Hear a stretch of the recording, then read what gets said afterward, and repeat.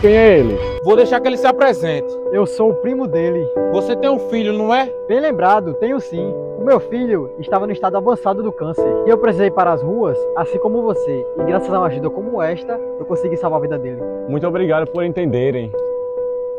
Agora, da próxima vez, não venha roubar na minha áreas, não. Venha falar comigo se precisar de alguma coisa. Tá certo, chefe. Isso não vai acontecer novamente. Você tem um coração bom, primo.